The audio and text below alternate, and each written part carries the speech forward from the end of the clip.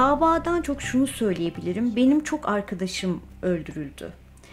Ee, bunun dışında ben e, bu coğrafyanın en büyük sorununun ve yüzyılın ilk büyük suçunun Ermeni soykırımı olduğuna hep inandım. Ee, ve ondan sonraki muhaliflere yönelik her türlü baskı eylemi, Kürt meselesi, Ermeni soykırımı bütün bunlar benim için belirleyici şeyler.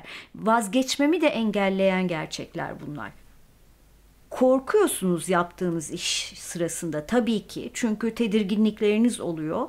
Ama şunu öğrendim bu mücadele boyuncaki cesaret insanı en çok koruyan şey. Yani cesur olmak zorundasınız. İdam idama karşı olmak Aha, Türkiye'de Tabii.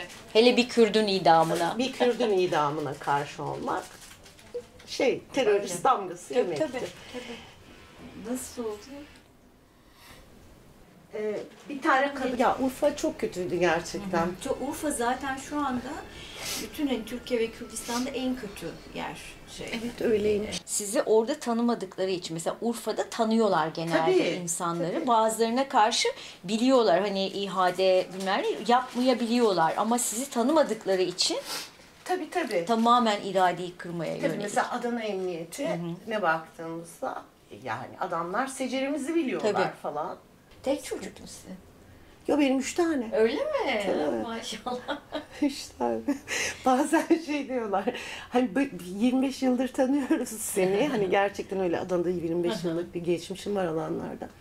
O 25 yıldır ya gözaltındasın ya cezaevindesin. Ne ara? Bunlar ne ara? Ben de şey dedim ya işte boş vakitlerimde yaptım falan ya. Yani o işte sanık olduğunuz dosya.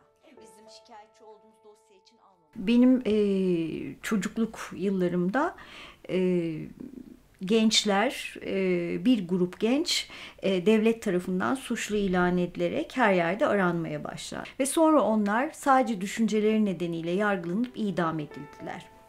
Bu beni e, çok etkiledi bu olay ve e, özellikle idamın e, çok kötü bir cezalandırma biçimi olduğunu düşündüm ve e, böyle insanları savunmak gerekir düşüncesine kapıldım.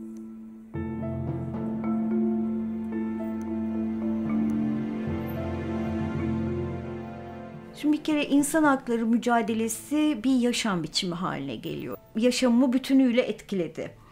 İki kere e, ölümden döndüm. Yani iki kez silahlı saldırı yaşadım. E, 6 ay cezaevinde kaldım. Şiddetin çok içselleştirildiği bir coğrafyada yaşıyoruz. Aslında Türkiye e, Cumhuriyeti kurulduğundan bu yana insan hakları ihlalleri var. Düşünce ve ifade özgürlüğünün en çok baskı altında olduğu süreç diye tanımlayabilirim.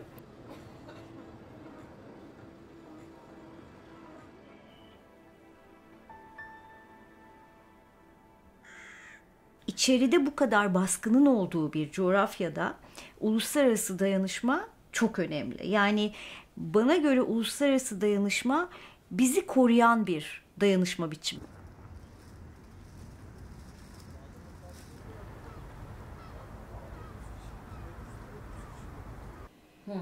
Ben orada oturmuyorum. Ben orayı boşaltalara ait. Arkadaşım karnından elinden yaralı. Bütün ev kan revan içerisinde. Ekip gelir gelmez. Yani hani hiç olayı sorgulama yok. Hani e, kim aradı, niye aradı, yaralanan kim, e, saldıran kim bunların hiçbirini sormadan direkt şöyle bir baktılar. Ortada bir tane trans kadın var. Direkt bana saldırmaya kalkıştı. Sonra ben ağladım. Bana dedi ki niye ağlıyorsun? Suçlu olduğun için mi ağlıyorsun dedi. Nasıl baş ediyorsunuz? Yardım alıyor musunuz? Yani hep bu sorular sorulur. Benim mesela beni en çok iyileştiren şey kedilerimle olan ilişkilerim. Duygusallık olmadan yani e, kendinizi o işe yakın hissetmeden, karşınızdakini anlamadan yapılacak bir iş değil, alan değil, insan hakları alanı.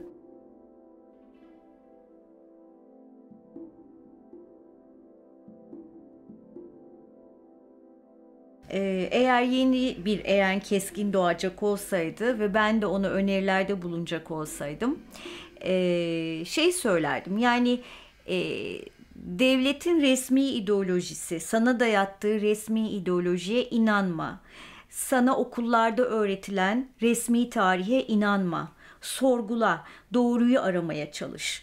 Her yerden dinle, tek bir yerden dinleme. Ee, araştır, e, hemen inanma derdim.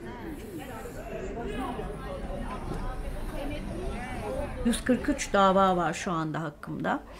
12 toplam 12 buçuk yıl hapis cezası var Ee, ve bunları çok kısa bir süre sonra kesinleşecek ve cezaevine gireceğim şimdiki yasaya göre.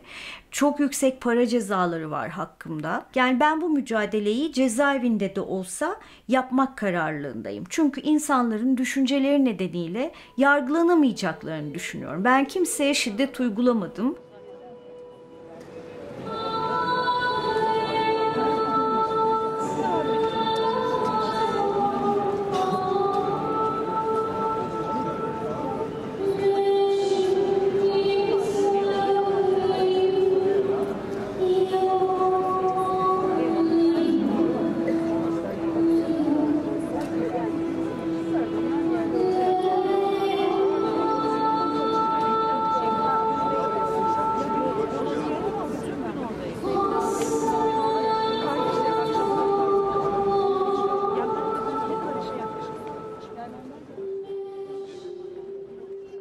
Tabii ki tedirgin ediyor beni. Çünkü benim e, yaşlı bir annem var 85 yaşında. Ona bakmak zorundayım.